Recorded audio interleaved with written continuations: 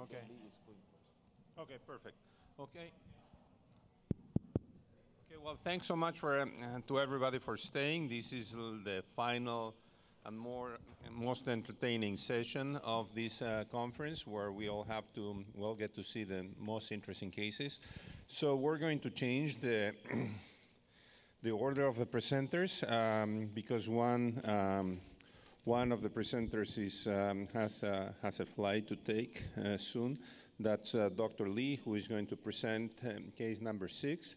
Remember, we have uh, five minutes uh, for presentation and five minutes for discussion. We have a very esteemed uh, panel here. I have Dr. Jeremias, I have Dr. Davis, um, Dr. Banerjee, the organizers of the meeting, uh, Dr. Manos Brilakis, Paul Sorajja, and Mehdi Shishehbor. Um, I'm sure that they will show up sometime. Uh, so I would like to invite uh, Dr. Lee, Ben Lee, case six. So the title of the case is endovascular rescue of axillary artery transection after a motor vehicle accident. Thank you. So we have a little bit of an atypical case because it's a trauma case. Um, so my name is Benjamin Lee. I'm from UT Southwestern Medical Center. I'm a second year vascular surgery fellow. So this case here, I don't have any disclosures for this. 23 year old female, um, pedestrian versus vehicle. Uh, she had a right axillary artery traction type injury resulting in transection and occlusion. Uh, she, her right hand was amputated on impact, and she also had a right scapulothoracic dissociation, significant shoulder injury there, and also right tib fib fracture. On a uh, CT angiogram that was obtained uh, upon arrival, uh, it showed abrupt transection of the uh, uh, axillary artery. Uh, there was an urgent vascular surgery and plastic surgery consultation obtained, and we, we had a multidisciplinary discussion. And um, at the time, the, uh, the, ex- on exam, the, she had pale, cool extremity all the way up to the shoulder. Obviously, no pulse, very large right axillary hematoma with the challenging anatomy. Her BMI was 43. Uh, she was a very short uh, person, also. Um, so at that time, after a discussion, we decided that we were going to do an exploration in the operating room, and uh, based on uh, the ability of perfusion how much we can save of that arm, we will at the time make a, de- a decision on um, how we're going to approach this case. So in the operating room, we used SPY Elite fluor- fluorescence imaging, which showed complete lack of perfusion um, all the way starting at the shoulder. So at that time, we uh, our, our, the, at the time of the evaluation, basically, if she were to undergo uh, completion amputation, she will need an amputation at the shoulder, and nothing will be viable distal to that. So, in order for us to achieve better outcome for her, um, better uh, cosmetic and functional, uh, we were trying to, we were, uh, we decided to proceed with the revascularization, and uh, uh, we decided to proceed endovascularly. So we obtained a two access right femoral access and a right brachial artery access, which was already exposed um, due to our uh, sig- significant degloving injury. Here you see an abrupt cutoff at the proximal axillary artery. Um, and uh, from our brachial um, access, you can see the transection of the axillary artery there as well. It's a very long gap transection. Uh, we advanced uh, glide wire from the, um, the, uh, the, the axillary side, and we could see where our wires crossed. So based on this, we thought we could, uh, we, cut, we thought we could snare the uh, glide wire using a snare in the uh, hematoma and the soft tissue space. As you can see here uh, from our brachial side, we snare that glide wire and achieve a through and through wire access.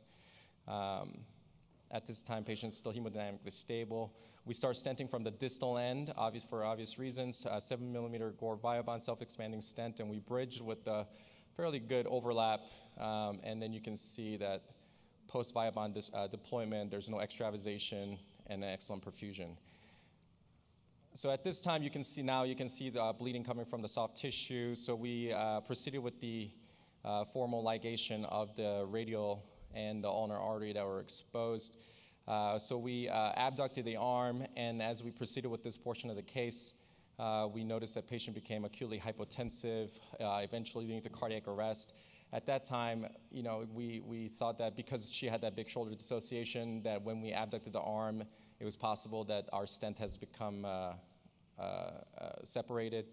So we uh, immediately shot an angiogram from our um, femoral destination sheet that we placed previously, and you can see that there's a complete separation of the two Viabahn stents right in the middle. Uh, we were able to cross this using an 018 glide wire Vantage, and then we deployed a, another uh, 8 millimeter Viabahn stent to bridge the two and post dilated.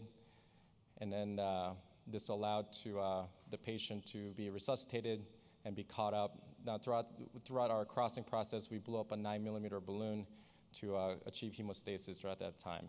You can see the angiogram with the arm adduction. You don't see any significant kinking um, and good uh, antegrade flow there. So patient was uh, stabilized and was transported to uh, SICU. Uh, she returned to, the, returned to the operating room with the plastic surgery team for a completion amputation of the at the, but at the level of the elbow, and she was eventually discharged to rehab. And uh, patient is still doing well. So.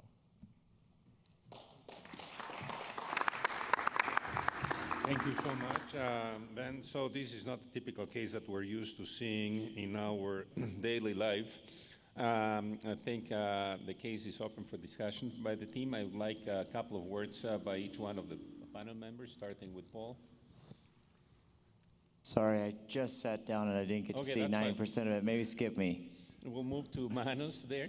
Well, I think don't do this at home. Well, we have uh, Su- Subhash. Were you involved in this case? No, I was not. I was uh, uh, not involved with with UT Southwestern, but I think I question for Ben is very quickly. So the level at which you would implant the stent, how did you isolate angiographically or on the table was it by visual uh, visual inspection the two ends that you need to oppose? Because I don't think that is an easy thing to do.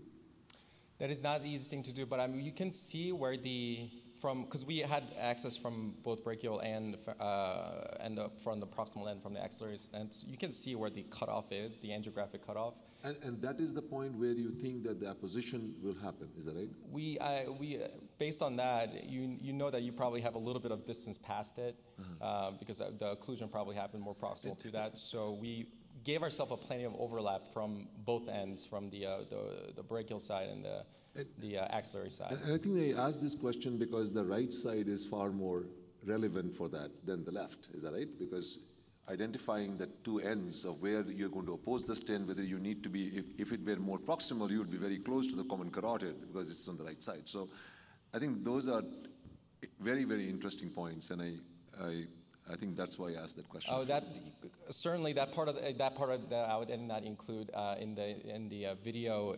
We did, but when we go went up with the with the destination sheet, we shot an angiogram to locate where the position of the the uh, the internal mammary and also the carotid, the vertebral. We could see everything, so we knew everything was distal to it, and we knew we had plenty of landing zone. Great, great point. Thank So. I have to say that that was a tremendous save. Uh, when the, I guess the arm was abducted, and is there, how much overlap did you actually have then between the two Viabahns that were originally placed? Two Viabahns, uh, they prob- there was about two and a half to three centimeter overlap Oh, okay. there. So we used uh, initially t- 10 centimeter and a 7.5 uh, centimeter to, to achieve the overlap. There was Okay. probably about a good three centimeter of overlap, and we thought that was adequate. I think we underestimated because her shoulder was completely dissociated that when we abducted the arm that it was going to swing way out. I see. Uh, I think uh, certainly if some similar situations arise, I think I would under fluoroscopy I would see first because that's what we did a- after we did after we uh, pres- uh, after we uh, placed our bridging stent. We actually moved our arm under fluoro to see how the stent was moving, and it was it appeared to be very stable at that point when we had the bridging stent. So. What I liked about this actually is um, it's a very intuitive case in a way where it, it sounds very complicated when you think about how, how they're going to fix this. But actually, the solution you guys found was very, very nice with the snaring, and it, it didn't seem to be overly complicated, the snaring part. You know, the rest, of course, you have to figure out. But that was nicely done, and I, I thought very, you know, creative. Yeah. Good Well, job. The, thing, I mean, uh, a difference uh, you. I thought that you were snaring somewhere in the middle, uh, but I mean, you, you get a two-dimensional you get a two-dimensional view with the angiogram, but then that's a three-dimensional space. So, and it seems that you were snaring above where the stump was, so the wires went in one way and the snare went in the other. How do you know that you were just closed? So we took multiple shots. So we advanced just uh, we advanced guide wires from both sides to see kind of where the natural path of the wires were, and we could see that on multiple shots that uh, somewhere above in that soft tissue is where the two were going to cross. So when we went up with the, uh, we initially actually tried because it's a big space. Uh, we initially tried with the end snare, but because of the hematoma, the end snare did not open up. That's why we went back and brought back a 15 millimeter just gooseneck, and we can see the gooseneck and the glide wire crossing at that point. So I knew that you know when we advanced with the glide wire, we could probably catch it from that side. So. Well, thank you so much, Ben. Great case. Uh, we're going to move on. We don't have much time. So uh, the next case is uh, Dr. Deb Das uh, from Canada. He's going to be presenting uh, case one, a big balloon problem.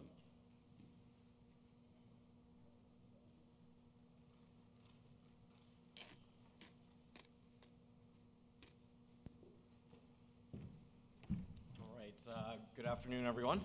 So my name is Debraj Das. I'm an interventional cardiologist from Edmonton, Alberta. I just started practice last year. Uh, Edmonton is probably the equivalent of Denver in Canada, so that puts it into perspective.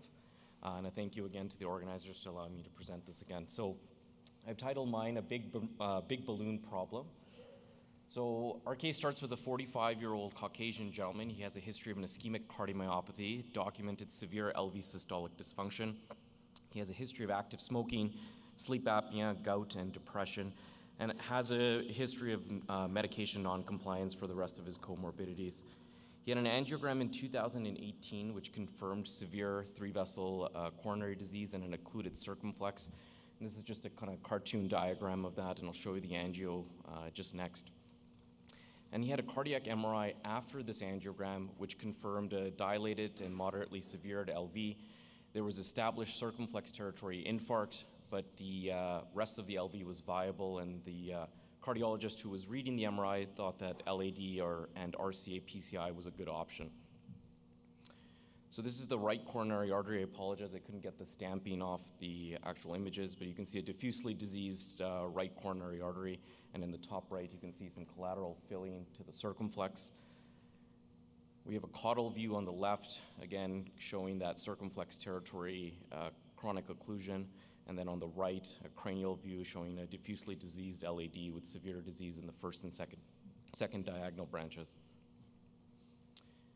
LV angiogram confirming severe LV systolic dysfunction. And so we moved on to a heart team discussion, and uh, everybody was on board with PCI to, to the LAD and right coronary artery. And of course, right after that decision was made, he left against medical advice and then bounced in and out of hospital for the next three years with decompensated heart failure presentations until I met him in March. And after a long discussion, and he had made some changes in his lifestyle, it sounded that he was uh, on board with proceeding with PCI. So I used the 2018 angiogram as my roadmap and proceeded with intervention of the right coronary and LAD. I started with a 6 French AL 0.75 guide, right radial, workhorse BMU2 wire, IVUS guidance up front to confirm the size of the vessel is, appeared to be a quite big right coronary artery, and I inserted four drug-eluting stents after pre-dilatation all the way back to the right coronary artery ostium. Aggressively post-dilated with a 50NC balloon up to 24 to 26 atmospheres, and in the final dilatation, I have a 50NC balloon that would not deflate. So this is six months into my practice. This is what I looked like, and this is the situation that I'm in. So the first thing I did was I removed the balloon, obviously, from the right coronary ar- artery ostium. I have a six French system. I have my guide wires still in, but I have a, I have a balloon that's strangulated and would not deflate. So with that, I'm just going to stop for a second and maybe ask the panel. Perfect. Uh, I, I, I was going to ask you that. So let's go quickly. Um, so Manu, so you are the the troubleshooter here, and you just showed a great case. So Yeah, thanks again. Great case and uncommon, but can happen. So the problem is we want to have this broken and deflated somehow. One option is to get um, a, a stiff wire next to it, either with the same guide or another guide, and try to puncture it with the back end of the wire, see if we can uh, make it puncture. Another option is to blow the balloon up at high pressure and try to rupture it. Now, if you're in the aorta, it's probably okay. In the coronary, not the best idea. Um, another, another option here would be to just uh, try to pull it back and then try to withdraw it from the, from the arm. You could also wrap a snare around it and close the snare and try to get it to go smaller or break it. The, the only thing with a snare, though, is it's a 5.0 NC balloon, so even if you took an 8 French through the leg, it probably still wouldn't fit back in. So that's why I was quite worried.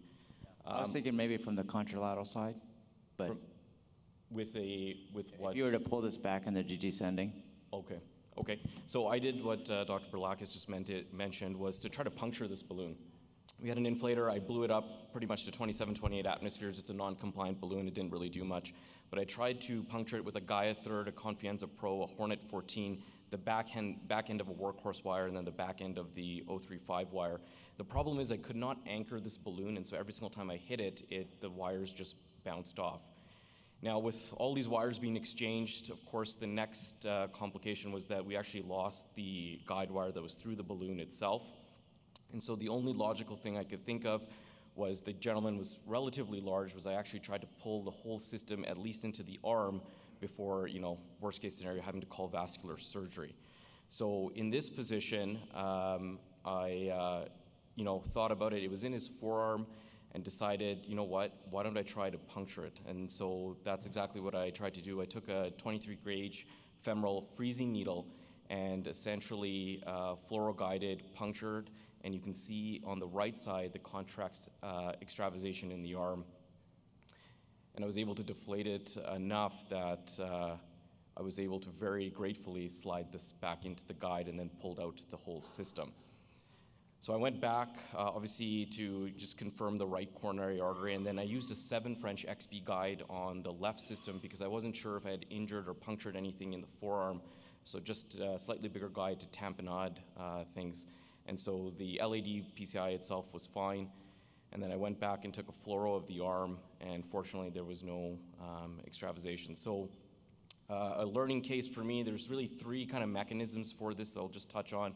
You can have recoil of the balloon itself on a severely calcified lesion, which can uh, damage the balloon and uh, strangulate it in that capacity. This is the most likely scenario that happened in mine is early retraction of the balloon right into the guide without letting it uh, deflate completely.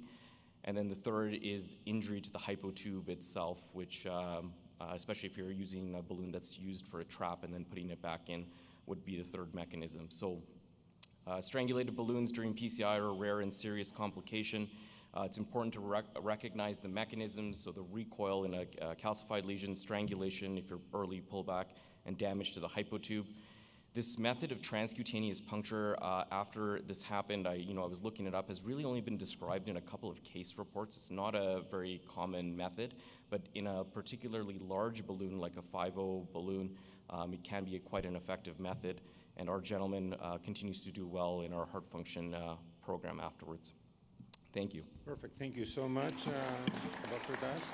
Uh, we have two minutes uh, for comment. So, um, Ryan, I saw you eager with the microphone. Um, no, I, I haven't actually seen, I've seen the balloon shaft break and I've seen balloons get lost, but I haven't actually seen this complication, so that was a good learning opportunity for me, but.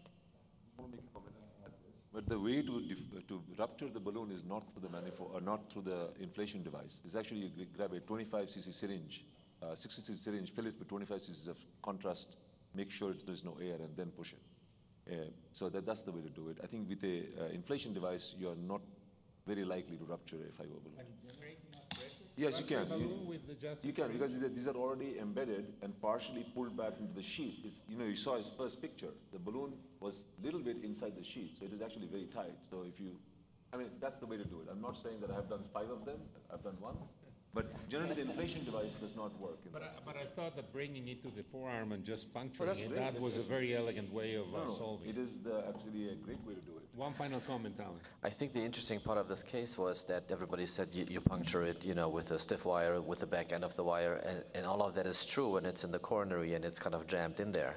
But when it's floating in the aorta, obviously it, it will always deflect from the wire. So that was, you know, an interesting point. Can I say o- one thing? You know, don't fluoro your hands. I know it was a life-saving procedure, but don't get your hands fluoro. The radiation you get is a lot. We had this conversation a lot with my colleagues. So. Okay, perfect. All right, thank you. so much. So we're gonna, we're gonna move on with the next case uh, with Dr. Judith uh, Karacsonyi. I hope I said it well. Um, The case is ostial right uh, coronary artery chronic total occlusion. When do you stop?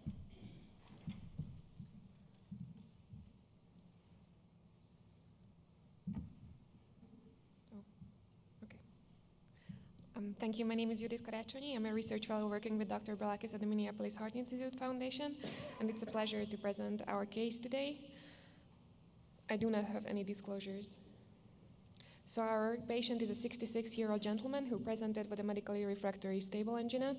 He had an NSTEMI nine years prior to this procedure and underwent CABG surgery. Seven months prior, he had a coronary angiography which identified the RCA-CTO.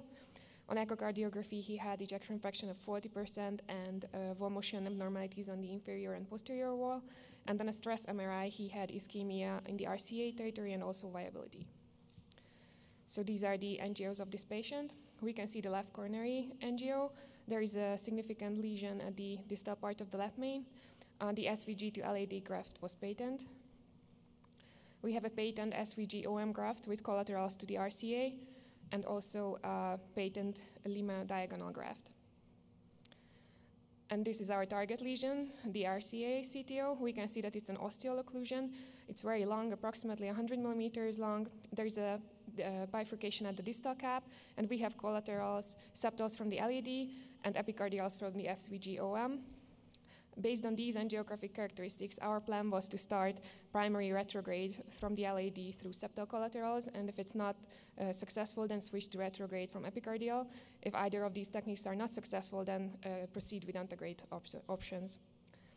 So the first plan was to go primary retrograde from the LAD through the septals. We could cross this significant lesion in the left main with the wire, but nothing else would cross. It was a balloon uncrossable lesion, so we couldn't use this uh, retrograde route we had to switch our strategy. So we switched to the SVG-OM uh, graft, and uh, we can see the epicardial collaterals here uh, to the distal part of the RCA. Uh, these collaterals were uh, significantly tortuous, uh, and there was a big band at the beginning of the epicardial collaterals, as we could visualize it with a microinjection. And it was very challenging to cross these epicardial collaterals. The solution was here the SUO3 guide wire, which is a soft guide wire, and this could overcome the difficulties with the angulation and the tortuosity. So we reached the distal uh, part of the, um, the RCA, and we were at the distal cap of the uh, uh, CTO. But the SUO3 wouldn't uh, cross this part of the CTO. So um, we went uh, with different guide wires. We knuckled the Mongo guide wire and tried to cross the distal cap um, but this guide wire got entangled with the Corsair XS, and unfortunately, we had to remove the whole system uh, and start from scratch. So then we crossed again uh, the epicardial collateral successfully with a turnpike LP microcatheter and the SUO guide wire again. And we were at the same point like before. We used multiple guide wires, um, and, and then we switched uh, the microcatheter, Corsair Pro microcatheter, to provide enough support because uh, this was the problem in, in this case. And finally, the Mongo guide wire could be knuckled all the way up to the proximal part of the RCA. Then, because we have already a marker wire uh, from retrograde, we switched to the antegrade options with a Corsair Pro and different guide wires trying to puncture the proximal cap. Um, eventually, with an Astato 20, we could uh, go into the subintimal space from the proximal uh, on the proximal right coronary artery, and then we pre-dilated the proximal RCA and delivered a seven French guide liner with the guideliner, we could uh, perform a guideliner-assisted reverse cart and successfully cross the lesion and uh, crossed with the Mongo guide wire all the way to the uh, antegrade guide. Then we externalized the lesion with an R350 and predilated the whole RCA with 2.0 and 2.5 millimeter balloons. Now we have the main branch of the RCA open, and then we attempted to recanalize the big PL branch, we can, we can, which we can see on the uh, angio. We tried several guide wires, but unfortunately all of them went extraplaque and uh, couldn't find the true lumen like this. The guide wires kept entering the inferior branch of the uh, PL, as we can see here. We considered retrograde options for this branch as well, but uh, these epicardial collaterals, which were leading from the SVG-OM, were uh, extremely tortuous and small size, so um, it, was, it would be too risky to continue the procedure this way, so we gave up this um, strategy. We tried to deliver a Stingray balloon, but unfortunately, this couldn't uh, be delivered due to the excessive calcification of the vessel. So then we decided to uh, predilate the, the main branch. Uh, we implanted a 2.5 by 30 millimeter DES to the PDA, um, a second DES to the distal part of the RCA, a third one to the proximal one, and then uh, finally we covered the ostium with a 3.5 by 28 millimeter DES. All these uh, stents were optimized by IVUS and uh, post-dilated. And this is the final result. Um, uh, of the procedure, we can see that the stents are well expanded and the, the flow, is, flow is streaming free in the main branch. Um, in the PL, uh, there is some flow, but uh, it's not optimal. This is the final um, angiography from another uh, angle. The procedure time was 345 millimeters. Fluoroscopy time was 131 uh, minutes, and 5.2 grays of radiation was used. So to conclude, uh, we have to beware of biocabbage patients due to the excessive calcification uh, and tortuosity of the vessels. In case of ostial lesions, primary retro retrograde approach could be a solution as in our case. Epicardial collateral crossing uh, could be difficult uh, with the tortuosity and the size of the vessels. In our case, the SUO3 guide wire saved the day. Equipment delivery through heavily uh, calcified uh, vessels can be challenging, as, we, as in this case, we could see that the Mongo guide wire got entangled in the microcatheter and we had to give up the guide wire and microcatheter position, but, uh, but we could rewire the vessel again. And the perfect result is not always feasible in these procedures, and we have to assess the risks and benefits of the procedure. The plan in our case was to uh, get uh, to ask back the ask the patient back if he still has angina symptoms for second procedures, um, and finalize the uh, PL. But uh, I think the uh, result is acceptable in our case. Thank you for your attention. Is an amazing example of persistence and skill. So, um, Alan, have um, in after you lost the wire? After they lost the wire in the initial in the initial time, would you have stopped? I mean, would have any you know? I mean, it's hard to second guess, obviously, a single case, but let me make some general comments. Um, and I think that's true for most PCI, CTO PCI in particular, which is that we go in with a goal, obviously, to have, do a good job and revascularize the vessel. But the risk benefit ratio changes throughout the case, and I think we have to kind of um, understand that. You know, the longer the case goes, uh, the more extreme procedures we have to do the more radiation we use, the more contrast, and at some point, you know, maybe the risk-benefit ratio is is not favorable, and we have to say, look, the guy has stable angina, which is medically manageable. Maybe that's the better option than maybe going to the next step, which would be, you know, causing a potential devastating complication. And you know, I think that's an important lesson to learn as as as you know one does these complicated cases to kind of know when to pivot I think this was uh, an excellent case and very challenging because, you know, when you get across those epicardial collaterals, you kind of just are hoping for success. And if you have to lose it and restart again, it's that much more frustrating. But persistence is sometimes good. Um, I'd like, though, whenever you're retrograde, particularly in situations where you are epicardial, keeping your microcatheter down and around those donor vessels and those collaterals is really important to prevent any damage or uh, concerns to those uh, connectors.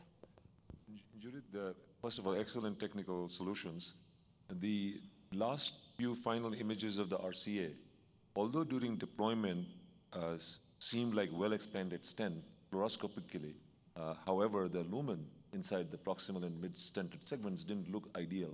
Do you think there is all some plaque prolapse from large stents, or this is stents deployment in the subintimal space, that's how they look? And third is that um, how do you optimize stents in the subintimal space with imaging?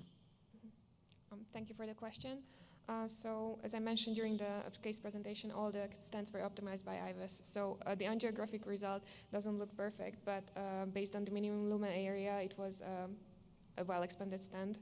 Not, not perfectly um, circular shape, but uh, the minimum lumen area was acceptable. So, and, and, due to the excessive calcification, it, I think it would have been um, too risky to further optimize the stents when we already reached the minimum lumen area, which was desired.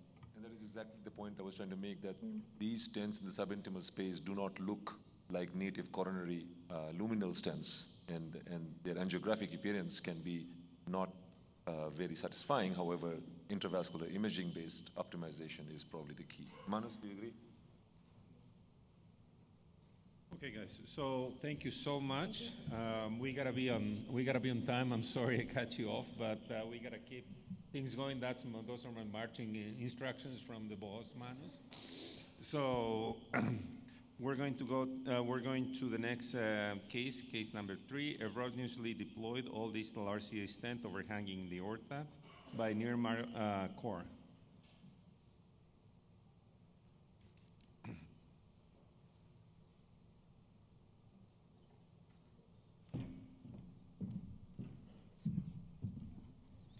Good afternoon, everybody. I'm Nirmal Kaur. I'm an interventional cardiologist practicing in southeastern Oklahoma. I came across a very interesting case that I'm about to discuss with you. We had a 77 year old gentleman present to my facility from an outside state. His past medical history was significant for CAD. He'd had multiple PCIs as elaborated below, history of diabetes, high blood pressure, high cholesterol. His main complaint was over the last few weeks, progressively worsening angina to the point that he couldn't even get out from his bed to the restroom without taking a nitro prior. In March of 2019, he had a left circumflex artery PCI. March of 2020, he had the RCA PCI with overlapping stents as detailed below. And in March of 2021, he had an ostial RCA PCI, excuse me, with 3 by 16 synergy stent. At presentation, that was his EKG. Not much in the way of EKG, and so were his cardiac biomarkers negative. Let's look at the diagnostic angiograms there. That's his left system. You see a patent stent in the left circumflex, circumflex artery. The LAD looks pretty decent. More views of the left system.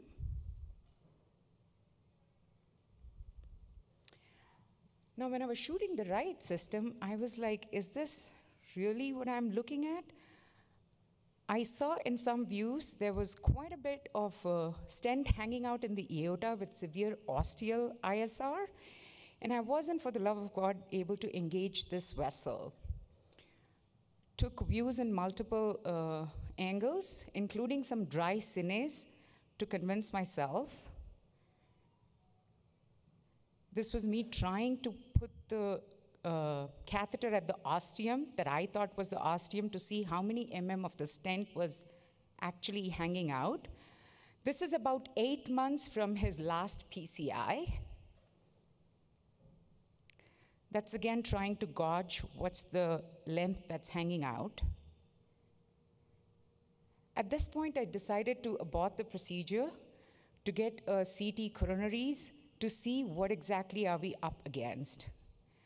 Now, I work out of a rural community setting cath lab. My lab is not backed by CT surgery. That's when I phoned a friend, Dr. Barber at OU, and we decided to do this at OU. I had an honest conversation with the patient about his options available.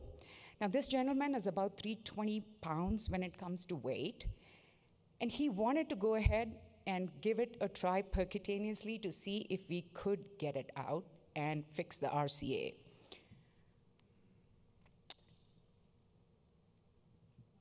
This was what the CTA looked like. So we had a good long preparation discussion. What were the things we could actually run into trouble with in this case? We were expecting a hostile femoral access due to obesity. Difficulty engaging the guide was pretty obvious. The stent was old, it was over six months old. Ostial RCA inaccessibility was going to be definitely a challenge. We were concerned about aortic injury, stent embolization, piecemeal breakage of the stent, RCA injury, and complete heart block were some of the things we went kind of in our heads. We put a temporary venous pacemaker with the seven French right femoral venous access, put an eight French long sheath. multiple unsuccessful attempts to engage this protruding stent with the guides. Our initial plan was to wire the RCA and then snare the protruding stent, but because we were unable to wire and let alone wire engage the stent, and we did try from multiple angles to wire and engage this uh, uh, overhanging stent, we just couldn't. At that point, we decided to bring an MPA as close to the stent as we could and without a wire in the RCA. We tried a gooseneck snare, passed through the 8 French MPA, and managed to, in toto, get the protruding stent snared out through the 8 French guide. That's how the stent came out. It looked like one was in toto, but there was a long sliver of probably the mid stent that came out as well. We OCT optimized the whole procedure. At this point, we lost flow. We were at zero to TIMI, I mean, zero to one TIMI flow, multiple, again, unsuccessful attempts to engage the leftover RCA. Finally, with AR1 guide, we managed to airmail it with a Fielder XT. Lesion was prepped with multiple NC and scoring balloons. We used Guidezilla to deliver the distal stent. And then we were able to uh, prepare and stent the proximal RCA as well.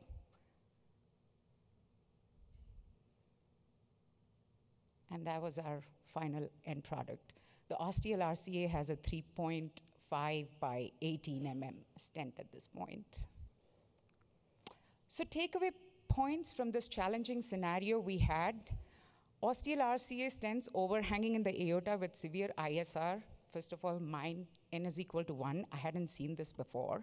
It definitely presents a lot of challenge with regards management, but with careful and meticulous planning, it is feasible.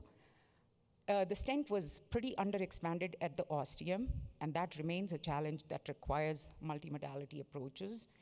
Intravascular imaging is critical to guiding procedural decision making in complex PCIs. Thank you for your time and attention. Thank you so much. So we're opening for discussion. So we haven't had the, the voice of Dr. Shishehbor in the back. Um, so how would you approach this? Would you have, um, I mean, another way to approach this would be to, to side the wire the stent, right. and then expand it, and then just uh, push the, the protruding part. That's what, how I did it in the past, and um, I think that this was also a creative solution. Yeah, it, it's a, I agree with you, Mauricio, and we deal with this ostial, uh, you know, kind of a stent protrusion in many locations, including the coronaries. And typically, you know, I, I just try to get a wire in one of the struts and get the guide closed and then try to airmail, I think it was, uh, uh, uh, you know, I, I learned on, on Wednesday, airmail the wire to, a, you know, a luminally or, you know, intra-stent uh, rather than through the strut. I guess my only concern about this approach would be if a piece of the metal went to the brain. And, you know, and so that would be something. And I remember in my fellowship, um, one of our surgeons actually pulled one of these out of the RCA they didn't obviously put a stent back in, and then uh, uh, decided not to bypass the vessel. And about eight hours later, the whole vessel thrombosed. And obviously, here you covered it with the DES, so that was, I think you addressed that issue. Because you denude, right? These are endothelialized, and you're denuding. I don't know if they would be concerned about maybe causing a dissection in the aorta those kind of things. So I forgot to mention actually, we did have an OR ready to go and a surgeon standing in the control room watching the whole procedure because that was something we definitely prepared for. Sentinel was another thing we did have a discussion about. Unfortunately, it was not on the shelf the day we did this. But uh, yeah, those were our and I also would like to mention, I saw this gentleman last week. He's 10 months out from the procedure, doing fantastic at this point. and I plan to keep him on DAPT for as long as I can. There's actually a case series on this from Mike Ragosta showing that actually you can snare those stents, but you're right. In your case, the problem is if you cannot wire easily and you have the acute vessel closure that Mehdi was saying, that can be a catastrophic event. So the planning you did is phenomenal. I might have done some sort of preparation because that is heavily calcific vessel before you put your new stents, but I think it expanded well in the end. So congrats for a great result. somehow my OCT is not loading here. The OCT results are very good, actually, well expanded. Thank you again. Any other comments from the panel? Okay, perfect. Thank you so much. We're going to move on. Great case. Um, then we're following with the next, uh, it's the catch of left main stenting um, by Dr. Jenny Namkoong.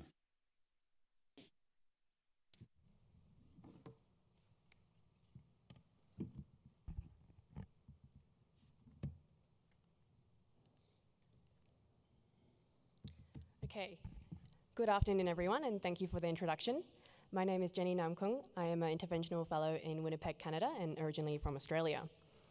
I'll be presenting to you a case that I've titled The Catch of the Left Main Stent. So if you follow along with me now, we have an 82 year old gentleman with a known history of coronary artery disease with a previous PCI to his ostial left main back in um, 2015. He has a background of muscular dystrophy and chronic atrial fibrillation, for which he is on, a, on apixaban. This time, he presented with worsening angina, or angina as I'm learning to say, and exertional shortness of breath, and his repeat echo revealed worsening ejection fraction to 40%. He was thus referred for coronary angiography. I'm going to first show you his 2015 angiogram. In the diagnostic images post nitroglycerin, we can see an ostioproximal left main disease, for which he received a stent. He did have circumflex disease at the time, but it was left alone. And on the right here, I've included a stent in hand shot of the well expanded left main drug eluting stent. And now to the angiograms from this presentation. A femoral approach was opted, as the radial pulse in both arms was not able to be appreciated. Diagnostic images showed that the left main stent was patent. It is a left dominant circulation, as you can see, with worsened calcific circumflex lesion compared with a 2015 angiogram, evident in the caudal shot on the left.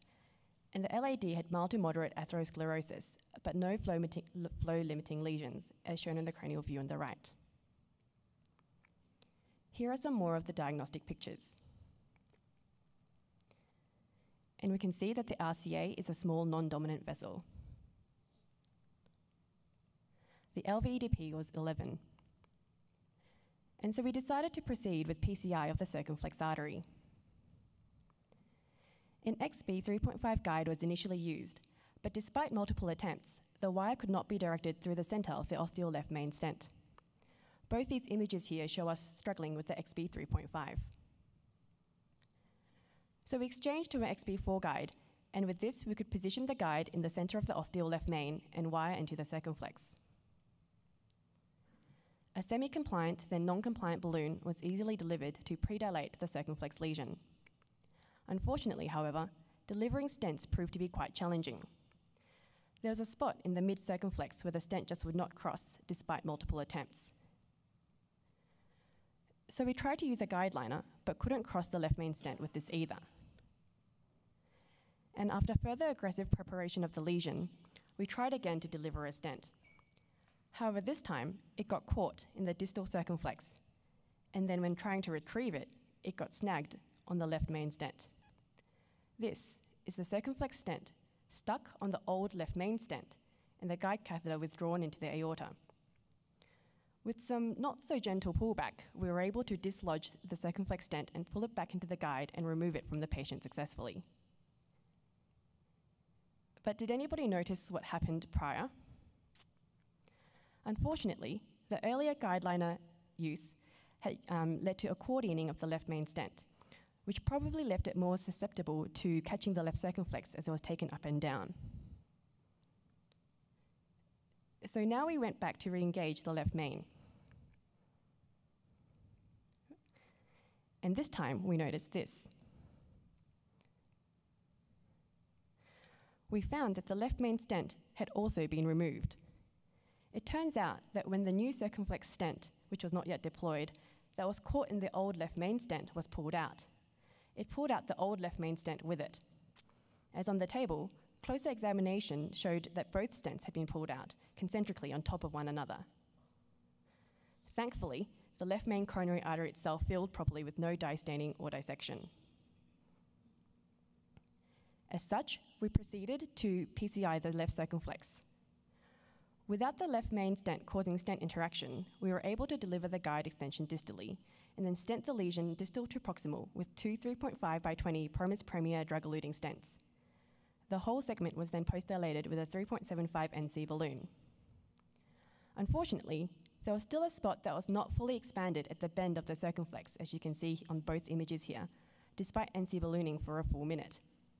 This is likely due to a calcific nodule, and we did not have any OPN balloons available at the time.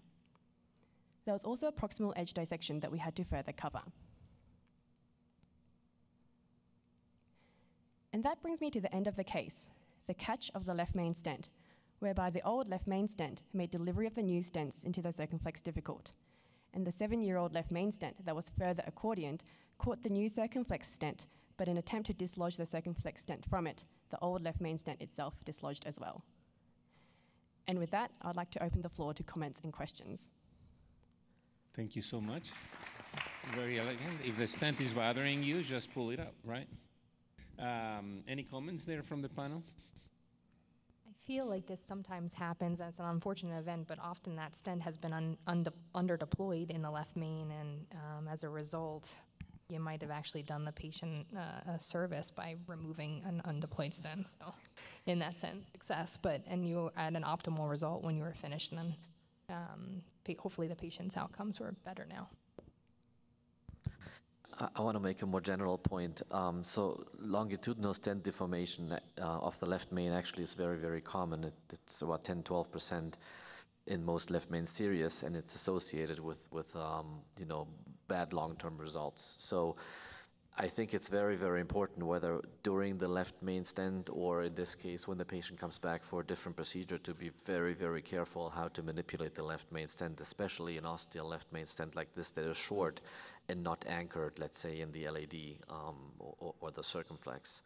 Um, you guys handled it well, obviously, um, but my um, preference in cases like this is to um, keep the guide disengaged. If possible, get a guideliner in, you know, balloon assisted, and then yeah. work through the guideliner to protect the stent as much as possible. Yeah, I agree that uh, using the balloon with the guideliner may have helped not accordion it in the first place. Did you did you stent the left main on your way out? I mean, would you have stented the left main because this is all? I mean, the endothelium is all disrupted. I mean, doing with imaging and making sure that it, you know you have a well-sized stent. Yeah, so I'd be interested to see what the panel thought. We ended up not restenting the uh-huh. left main for this patient. Um, we didn't feel that there was, we would have liked to actually further um, image to opt to make sure, but we didn't feel that there was any mechanical disruption to the left main. And also because there was some concern about the circumflex distally and having to um, have a further procedure down the line. Um, the decision at the time was to leave the left main stent, but the patient was extensively monitored.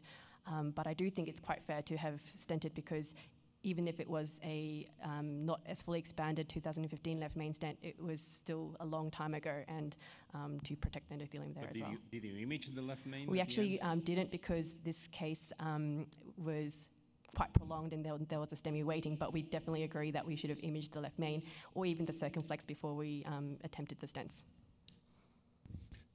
Any other comments from the panel? I think whenever you have a hard time delivering stuff through a stand, in my mind, the first thing to do is get a wire, loop it, and get through the stand. Because sometimes you may wire under the stand strut and you don't realize it. Mm -hmm. And that's why maybe the reason why you have a difficulty getting through. Yeah. But I think that was perfectly done and beautiful, safe. Thank you. Perfect. Well, thank you so much. Thank a great you. case. So we're going to move on to the next case. This is case number five, mechanical thrombectomy of a pacemaker-related subclavian vein thrombus. This, is, uh, this will be presented by Dr. Leslie Ynalvez.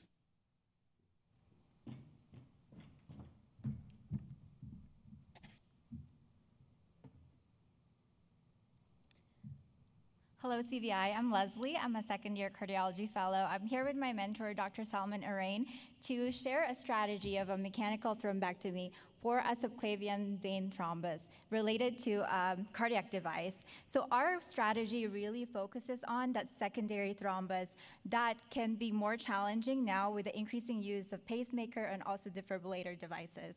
So our patient received his dual chamber pacemaker for a high-grade AV block 15 months before his symptoms started. His venogram during implant showed that the um, axillary vein to the IVC is patent. He then developed this new swelling of his left arm and was diagnosed a left subclavian vein thrombus.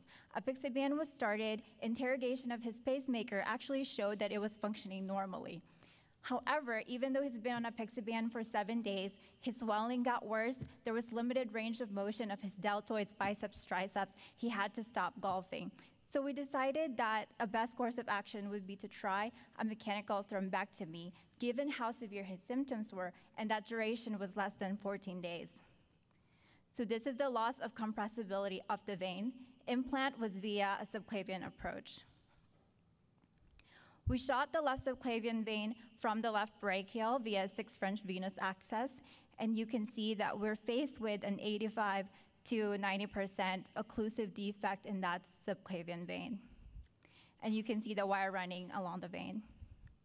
And this, um, I thought it was a really cool visual to really see the power aspiration um, of the penumbra.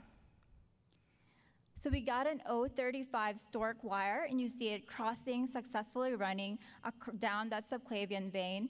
It's heading towards the right femoral vein. We then worked on the right femoral vein um, for our snare and also our penumbra access. You can see on the second video the snare advancing via 14 French right fem venous sheath. And the last panel, remember that stork that's coming from the brachial um, vein access, and that successful snaring actually creates this railing for our penumbra to go all the way up into the subclavian vein, our target site. And once we're there, we did um, multiple passing of aspirations. You can actually see our little movements down that as we worked on that vein. Looking at the progress and how we did after the penumbra, there was improved flow after aspiration. However, it's still stenotic. And the side-to-side comparison, you can see how much progress we've made, but we have much left to do. Stenting in this costoclavicular junction is actually not advised because they tend to be prone to a lot of fra um, stent fraction and reocclusion. And so we, we decided that our second attack is going to have to be a balloon angioplasty. So we inflated that Evercross balloon multiple times um, until we were happy with that, um, with that flow and our um, before and after pictures, uh, we were quite happy with that less than 10% residual stenosis. And device interrogation at the end of our case showed that the device leads were still functioning properly. So our patient's symptoms resolved in five days.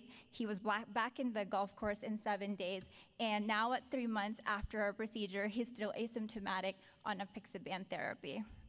So upper extremity DVT actually occurs fairly commonly after an ICD and after a pacemaker. However, only 8% of patients develop these symptoms. So this case actually taught me the different mechanisms involved for this thrombosis to happen. And there's about three um, points in the Virchow triad. So the first thing, of course, is that hypercoagulability. There's a lot of animal studies that's been done. That's this fillers, silicans fillers, and fatty acid layers that coats the pacemaker actually triggers the intrinsic fat pathway. And the second thing is that loss of flow um, loss of blood flow. And it shows that once you're dealing with two or three or more pacemaker leads, the lumen size really significantly decreases. And once that decreases, there's this formation of collaterals, which further decreases blood flow. And then the third thing is that chronic inflammation. Just because you have a lot of leads, there's always these micro lacerations involved in that vein. And so from the ACC, the American College of Chest Physicians, um, the cornerstone is really anticoagulation. However, there are cases, for example, like severe symptoms or just really significant extent of thrombus where the ACCP wants us to think about it may be beneficial as a mechanical thrombectomy. And again, this has, it worked in our case, but it's never been studied in a significant way by randomized controlled trials. So our patient really taught me a strategy that we can use in a subclavian vein, an anatomy where um, stent angioplasty might not be um, a good option. So thank you for letting me share my case, and I hope you learn something to help your future patients. Thank you so much for the presentation. So the, the case is now open for discussion. My initial reaction is that I, I do lots of right heart cath from the arm, and many times I find occlusions. but as you said, are rarely symptomatic because patients develop a significant collateral flow. What was the time interval between the placement of the pacemaker and the symptoms? Yes, sir. It was about 15 months. 15 months. Um, I don't do peripheral, so I'm going to defer to the peripheralists in, in this panel. No, it's a great case. I think this is a, you did a good job. Your thought process, uh, you know, the enemy of uh, good is better in these situations. So you just want to get some flow. Um, and usually patients do well. It's not an uncommon problem, this. Uh, usually we don't know about it. And uh, sometimes, you know, when patients come off anticoagulation, they lose their collaterals and then they become symptomatic. So I agree with you that anticoagulation is key. Uh, just get some flow. Don't be too aggressive because not only you don't want to extend that area uh, because of the location, you don't want to jail those uh, leads uh, by putting a stent. So you don't want to cause a perforation or a, or a complication in that area because your options will be limited. Leslie, great points. I have two uh, pivotal points in your case. Number one, Yes. that you chose correctly not to place the stent in that location. That's very important. And second, a message from my own early, early experience that when you see these thrombosed veins and partially occluded veins and you want to put a self-expanding stent, be very beware not to undersize them. You think you're going to get away with a 6-0 stent, but once the flow gets restored, you need a 14 millimeter stent. So early in my career, I actually embolized a stent by doing so. So those are two very important points that at that location where you are, don't try to put an oversized stent. And second, if you do have to stent a central vein far more closer to the heart, then use very good sizing after aggressive balloon angioplasty because your small stent may then embolize. So great case. Thank you. Okay, Thanks so thank you so much. So we're now a little bit ahead of schedule, so we are going to move on to case number seven, redo TEER in the setting of iatrogenic ASD closure, and this is going to be presented by Dr. Karan Gupta.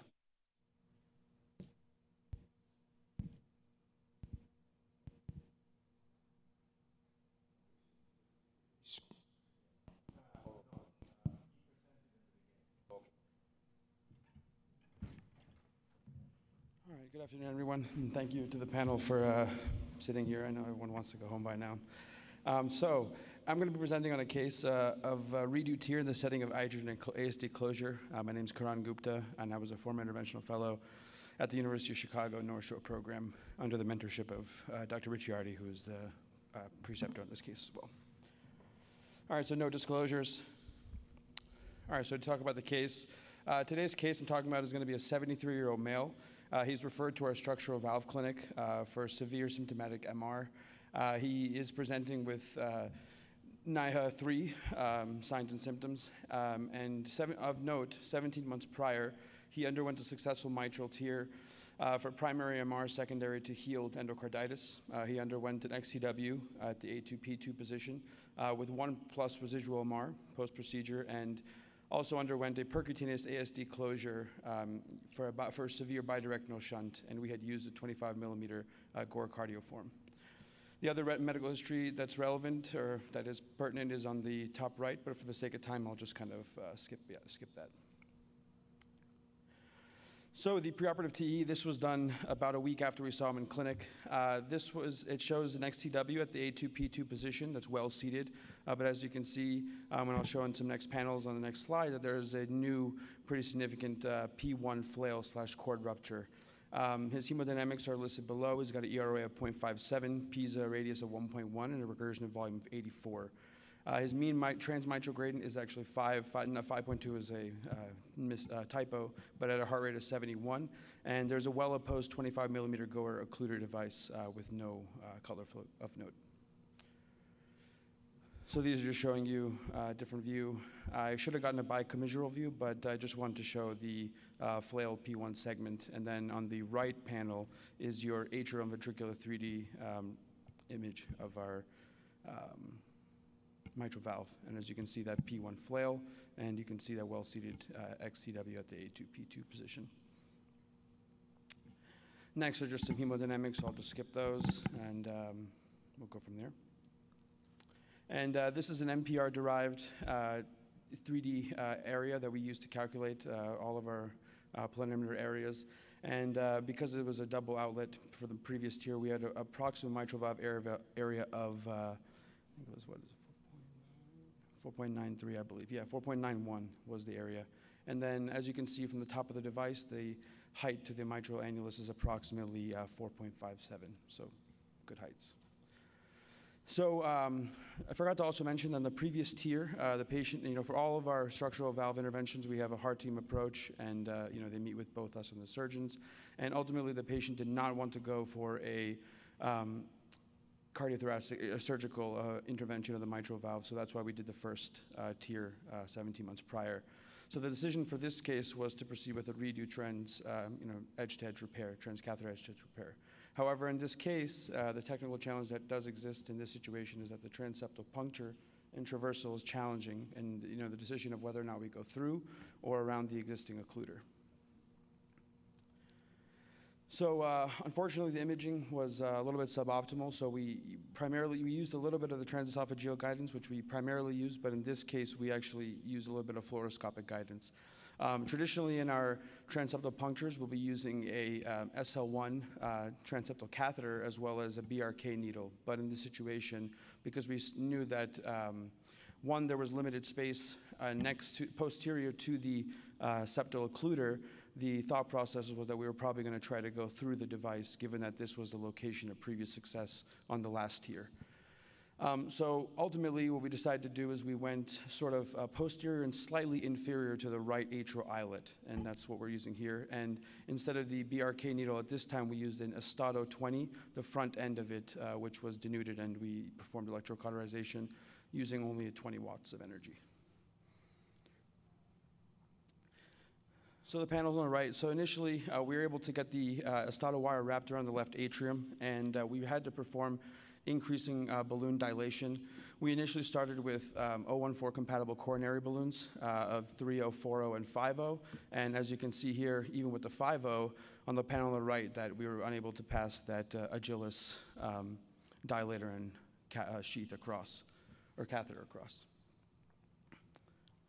So then what we did is, um, how do I go back on here?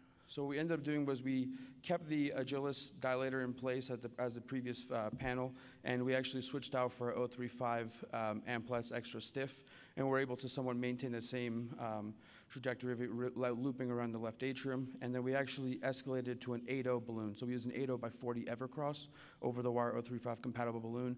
Went up to nominal dimensions, and as you can see there, there's an initial waist, which we perceived to be the, probably the intraatrial septum, and then there was quite a big um, elimination of that waist there. And then we were able to successfully um, pass and cross, uh, we were able to successfully traverse the um, Agilis catheter into the LA, as you can see here. And then we redirected our uh, wire into the left uh, upper pulmonary vein system.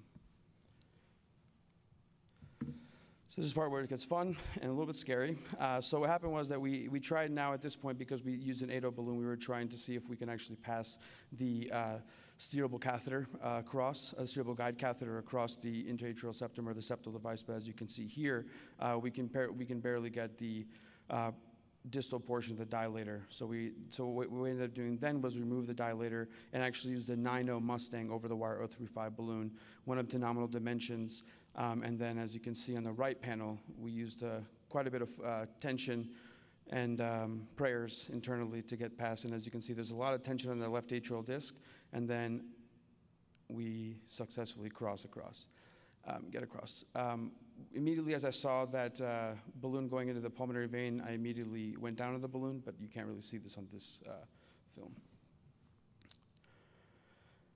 So the, uh, after that, we actually measured our height um, relative to the, the, height of the guide catheter relative to the mitral annulus, and it was approximately 4.15 centimeters. So the rest of the device, I mean, the rest of the procedure actually went pretty smoothly, and uh, it, that wasn't really the focus of this talk. But we essentially put in two clips. Uh, the first clips that we, the first uh, clip that we decided to use was an NTW device that we placed slightly lateral to the initial XTW um, at the A2P2 position. And uh, the panel on the left, as you guys know, is just showing a 3D imaging, uh, 3D image to show our arm orientation, and uh, the panel on the right showing us a grasping view uh, and grasp of the uh, leaflets.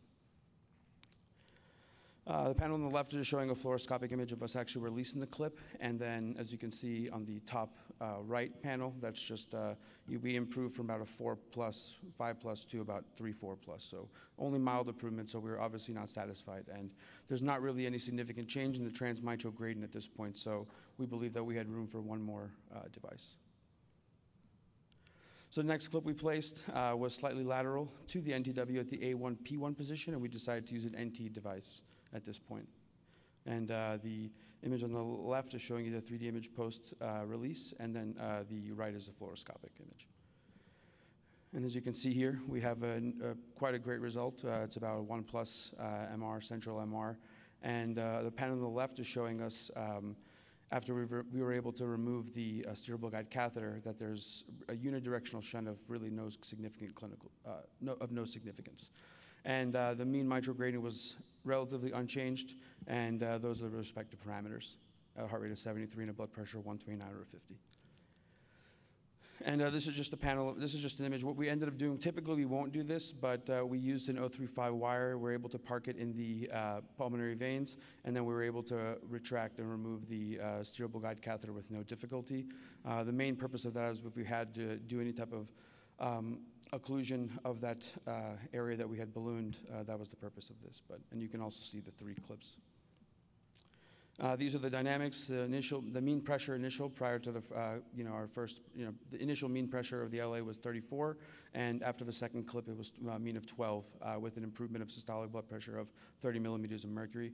And uh, we typically get an echo post-procedure day one in 30 days, and it showed an intact septal occluder with no residual shunt, two plus MR, mean gradient of five, and unchanged findings from our previous, uh, from the peri-op TEE. So just some final thoughts. Uh, prior transcatheter ASD closure, it doesn't preclude uh, transeptal access for redo mitral TEER. Um, traversal with an energized 0.014 wire and balloon assisted tracking of the steerable guide, as described here, is just one method that can be utilized. Um, and for cases where iatrogenic ASD closure is performed, we should probably uh, have careful consideration with respect to the type of device that we actually use uh, for repeat transeptal access. That's it. Thank you so much. So I have a question for uh, Paul there. Um, so do you still use a BRK needle? No, we use a Baylis. Yeah, and, we, um, we, switched to the Bailey. So yeah. I was wondering if you had these issues just using the Bailey. Yeah. So um, I, uh, I love the case, and so um, we we had a, a, previous case where we had an ASO occluder. Yep. And uh, we crossed uh, to do a MitraClip, and uh, it was you know quite challenging. And there's no way of getting across without electrocautery. Yep. So you using the Stato electrified wire is the right way to go. Um, the other thing too is um, after my previous case of having an ASO occluder and trying to recross and the difficulty, I always close with a cardioform on the way out if I'm going to close. Yes. Uh, your case is interesting because the endocarditis uh, raises uh, history, raises really significant risk that he's going to have to have a redo. Yes. And so I, I don't want to criticize the original procedure, but it would have taken me a lot to put a cardioform at that first clip yes. because I think the chances of redo is really high which is what you ended up doing. Yes. Um, but you know, if you have an ASO, um, you know, we actually had to use a 14 uh, millimeter uh, non-compliant uh, peripheral balloon to get the guide across, yep. and then it becomes just like an ordinary MitraClip procedure. Yep. And then um, I, I, left it open, and it went well. Uh, so I, you know, commend you. It was a really great one. The only other suggestion I, I might do a little bit differently is have a safari uh, yeah. instead of a, a straight wire, yep. Uh, relative straight wire, because that amount of push um, you know, you know, the previous cardioform device, that eyelet yeah. is X marks the spot, so that's the best spot, but it's also posterior, and you're gonna be pushing posterior superior, and if you don't have a pre-curved wire to protect you, there's a risk that you can go right out the back. And so, uh, but I mean, it's honestly it's a great case, and uh, it's a great example how the cardioform uh, can be crossed uh, and have this done. Thank you. Perfect. Any other comments from the panel? Great, thank you. Great case. Thank, thank you so much, much for the thank presentation. now we're going to go to the. This is the last case um, of the of the of the session. So it's novel use of intravascular lithotripsy for dilation of interatrial septum and subsequent passage of transcatheter mitral valve replacement. Thank you. This is presented by Dr. Wally Omar. Thank you, everybody, for being here. My name is Wally Omar. I am a formal structural and interventional fellow from Beth Israel Deaconess Medical Center, starting practice now. So this is a case of septal lithotripsy to facilitate delivery of a transcatheter mitral valve replacement. So, a 61 year old woman, extensive cardiac history here. She had Hodgkin's lymphoma with radiation to the chest, severe AS requiring a mechanical AVR, CAD with single vessel CABG, and at that time had tricuspid and mitral annuloplasty ring repairs. She has heart failure, and a CRTD was placed for that. And then subsequently, she had failure of the ring on her tricuspid side, requiring PVL closure. So now she's admitted for MR through her mitral annuloplasty ring. She has a 12 pound weight gain and NYHA class 4 symptoms. Here you can see the MR on the left and the 3D MR on the right. And you can see from the MPRs that it looks like it's a pretty central jet. So this is our first challenge. The patient has a Cosgrove ring. This is not a rigid ring, it's a flexible ring, and you can see that it's partial, not a complete ring. But despite that, it is possible to put a sapien valve through there. Our second challenge was that this um, was whether there would be LVOT obstruction once we pass the valve through. And you can see here that our valve to septal distance was adequate and our neo LVOT was 342. So we did not think that there would be significant LVOT obstruction. And here's our real challenge. So you can see the CT on the left here. The interatrial septum was significantly calcified. And I've highlighted that on the right with a blue arrow, but this was something we did not expect when obtaining the CT in the first place. And on TEE, you can see the confirmation of severe septal thickening and calcification as well. So, a couple of pre procedural planning. Um, one, how are we going to get across the septum? So, first, we can use our standard catheter and a BRK needle, like we talked about. We can use that standard catheter and BRK needle and add RF or electrocautery, or we do a fully uh, electrocautery equipped system like the Baylis. And then once we are across that septum, how do we go ahead and dilate it? We can use peripheral compliant balloons. We can try and use septal scoring balloons or cutting balloons. Um, and then finally, we have lithotripsy at our disposal as well. So we decided to go ahead with general anesthesia and TEE guidance as a standard. You can see on the fluoro screenshot here that the septum looks severely calcified. Uh, percutaneous transfemoral venous access as is standard. And then we did go ahead and use our transseptal catheter, uh, LAM 45, with the BRK needle. And we did require electrocautery at the needle tip to get across that septum. Once we were across the septum, we tried to dilate it with a 12 millimeter septostomy balloon. There's no fluorosave of that, but it did not adequately expand. There was significant waist despite getting across that. So at that time, we knew that we would have to use something to dilate this further. We ended up using a shockwave balloon, 7.0 by 40, and we, were, we tried to stay conservative here, just using three cycles of lithotripsy um, after dilating the balloon to six atmospheres. You can see on the right here the echo showing the sound wave disruptions, and on the bottom here, uh, the fluoro screenshot is the shockwave balloon expanding after the second inflation. So from there on, it was actually fairly simple to get our balloon across. So we used a 14 millimeter peripheral compliant balloon here. You can see this dilating pretty well, and the waist actually gives after a little bit.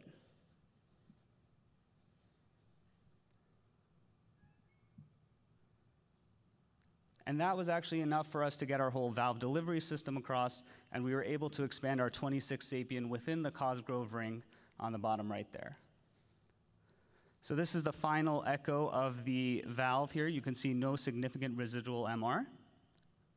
And it looks like it's a well-seated valve. Finally, we did have a large ASD, and the Doppler across that was bidirectional, so we did decide to close that. Um, on angio here, you can see that there is left to right uh, shunting of that ASD as well. Uh, unfortunately, we did not use a cardioform. Uh, we used a 16 millimeter Amplatzer septal occluder device uh, for this. So a couple of talking points here. Calcification of the fossa ovalis is very rare, but ha- it has been seen. In almost all reports of this, it has been iatrogenic. So either patients have had cardiac surgery in the past, there's been manipulation of the interatrial septum for a transeptal puncture, uh, patients have had multiple EP procedures on the left side, or like our patient, have had radiation and a combination of all of the above. Uh, we did use shockwave in this case because we felt that the calcium was circumferential, but would this have worked for nodular calcium? I'm not very sure. And then finally, it just highlights the importance of multimodality imaging with CT, TEE, and fluoroscopy in this case. Uh, one thing to note is there's a paucity of data to determine whether there is an association with septal calcification and strokes. Um, so it is important to consider embolic protection. In this case, we actually thought that embolic protection would pose the patient to a higher risk because she had significant arch calcification as well as ostial and calcification as well. And then finally, it just goes to highlight that we, we need to uh, be aware of all of the tools at our disposal uh, in, in the structural realm, coronary realm, and peripheral realm to get our patients through. So thank you very much. I always see these on Twitter, and you know this is the first time I've seen such extensive amounts of devices in one patient in my own practice. So decided to put that up there for you. Thank you.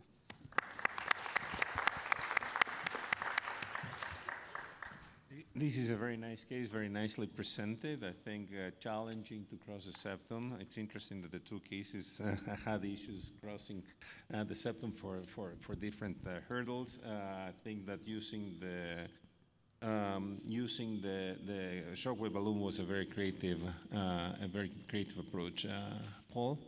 No, I, I think that that's great. I think, you know, whenever somebody's had a previous mitral, you can always count on the atrial septum being a problem afterwards because the surgeon goes right atrium to left atrium, and they often uh, either oversew or patch it on the way out. And so, so that's, um, that's a problem that you overcame quite nicely.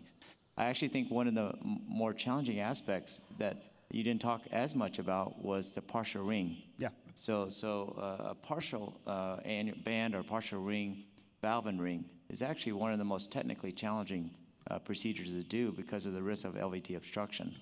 You don't have as much anterior forces to keep the valve from going into the LVOT. And also, there's less support because it's not circumferential. Uh, but what saved you, I think, in this one, especially, was the mechanical valve from exactly. before. You know, that, uh, that mechanical valve comes right down to, to, the anterior trigones, and that holds your mitral valve uh, well. Without that, I think it would have been really hard. Absolutely, and that was something we were very concerned about because this is a flexible semi-partial ring. She did have that mechanical valve anteriorly, and I think the annulus, the true annulus was pretty small. It was around 380 millimeters squared, so we felt confident enough that this would hold, but like you said, it's never a guarantee. Perfect. Any Thank other you. comments? Thank you very much. So this concludes uh, the session. Thank you very much for attending. And now the jury will start judging the cases and we'll have uh, winners very soon.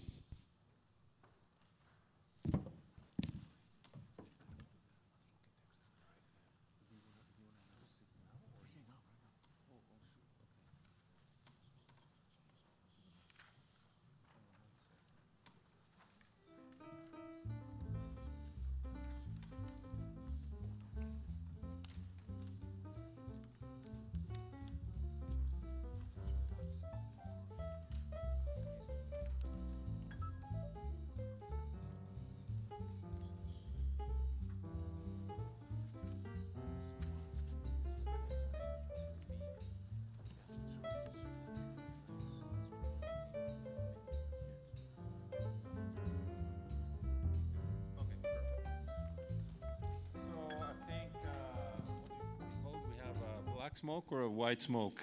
White, white. white smoke. Well, I'm Jewish. What, what, do you want? Too, okay, so we have white smoke. So we, we have elected uh, the, the winners uh, for the award. So for the coronary winner, it's going to be Dr. Debraj Das. Congratulations to Dr. Das for the big balloon uh, problem.